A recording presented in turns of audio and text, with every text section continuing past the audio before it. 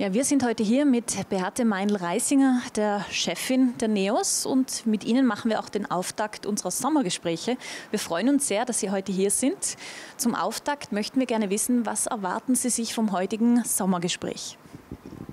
Also grundsätzlich ein Gespräch. Ähm über die wesentlichen Themen, die den Menschen wirklich unter den Nägeln brennen. Ich habe in den letzten Wochen selber Urlaub gemacht, ein bisschen in die Zeitung geschaut und das Gefühl bekommen, dass äh, unsere Regierung vom Kanzler abwärts eigentlich nur noch Schattenboxen macht. Ich bin eigentlich ratlos und zunehmend wütend, dass wir wochenlang darüber diskutieren, was normal ist und was nicht normal ist, während die Inflation noch immer viel höher ist als in anderen Ländern.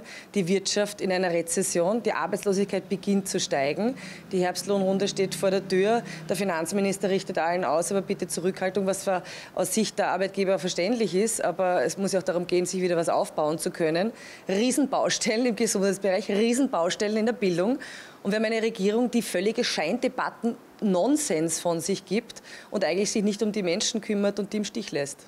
Jetzt haben Sie die Löhne angesprochen, viele heiße Eisen, die uns im Herbst erwarten. Jetzt haben wir natürlich auch die Nulllohnrunde. Sie haben es sicher verfolgt, die angesprochen worden ist politisch. Da hat man jetzt gesagt, zumindest auf Bundesebene sei das wichtig für die Spitzenvertreter, dass man da doch nicht die vollen Bezüge dann erhält. Jetzt heißt es von Seiten der FPÖ, von Kickel beispielsweise, dass man das auch für die Länder einführen sollte. Was ist da Ihr Stand der Dinge zur Nulllohnrunde? Wie sehen Sie das auch bei den Ländern? Also man kann das schon machen. In Zeiten so einer hohen Inflation ähm, und vor allem auch dahin galoppierender Staatsausgaben finde ich das völlig fair enough, dass man sagt, als Politiker bitte Zurückhaltung. Aber was mir fehlt, ist der Plan.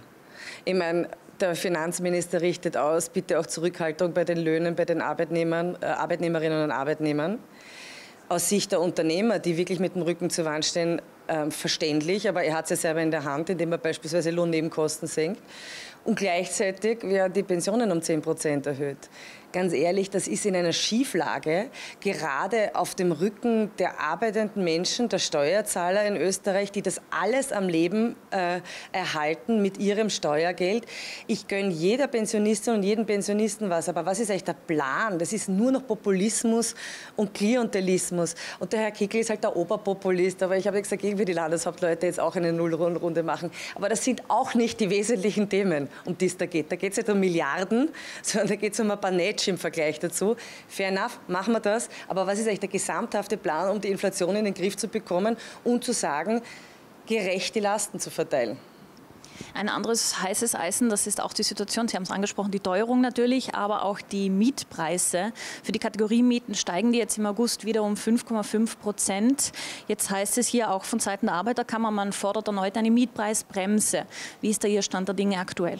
Ja, das Gleiche, was ich schon vor Monaten gesagt habe. Ich habe nicht verstanden, warum die Regierung hier nicht dem Vorschlag von Felbermeier gefolgt ist, also dem Wirtschaftsforscher Felbermeier, der ja mehr oder weniger gesagt hat, naja, also man kann nicht komplett bremsen, weil das ist einfach widersinnig, aber man kann es abdämpfen und sozusagen über Jahre strecken mit dem Ziel, die Lasten zu verteilen und vor allem auch mit dem Ziel, damit die Inflationsrate runterzubekommen.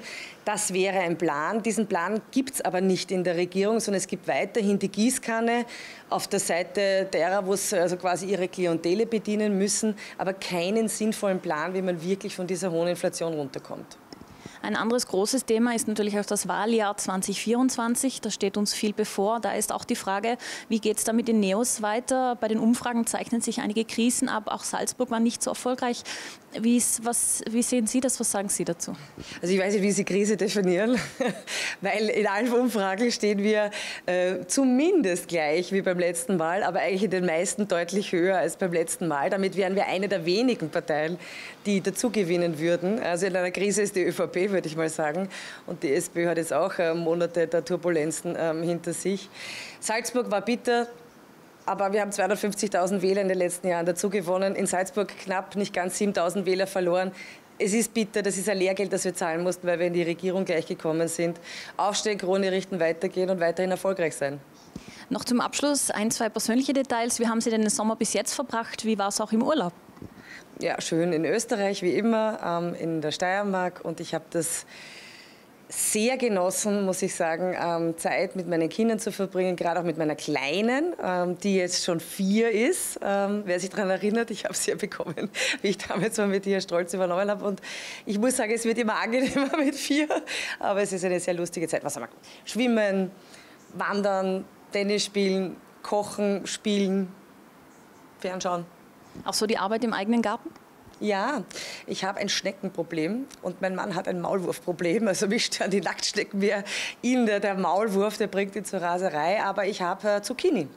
Recht viel. Also es wird Zucchini-Suppe, Zucchini-Kuchen, Zucchini-Gemüse in jeder Variante geben in den nächsten Wochen.